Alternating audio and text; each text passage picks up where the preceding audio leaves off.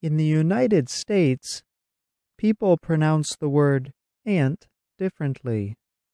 Listen to Anna talk about her aunt in the video. That is my Aunt Lavender. She is my mom's sister.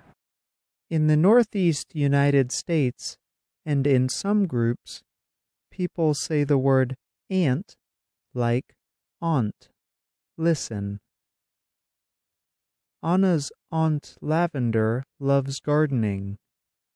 Now, you try it. Aunt Lavender makes spoons.